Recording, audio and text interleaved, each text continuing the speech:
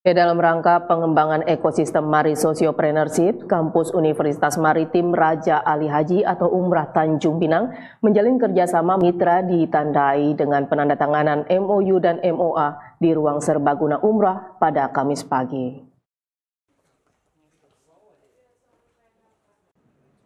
Penandatanganan kerjasama yang dilakukan Umrah bersama mitra tersebut merupakan proyek perubahan untuk mendorong Mari Sociopreneurship di Umrah. Mari Sociopreneurship adalah sebuah kegiatan pengembangan wirausaha yang fokus menciptakan dampak sosial bagi masyarakat yang memanfaatkan sumber daya kelautan dan kemaritiman. Rektor Umrah Profesor Dr. Agung Damar Syakti mengatakan, Umrah fokus kepada pengembangan entrepreneurship yang memanfaatkan sumber daya kelautan dan kemaritiman untuk kepentingan masyarakat pesisir. Untuk itu, diperlukan keterlibatan swasta guna mendorong research and development sebuah perguruan tinggi dan juga mendorong penguatan ekonomi masyarakat. Usaha kecil menengah bersama para mitra seperti media, bank, pelaku usaha, dan UKM. Ya, tentu uh, kita ingin fokus kepada pengembangan entrepreneurship ya, yang lebih didorong kepada pemanfaatan sumber daya kelautan dan kemaritiman untuk kepentingan masyarakat pesisir kita. Yang dalam program strategis umrah disebut dengan Mari Sociopreneurship.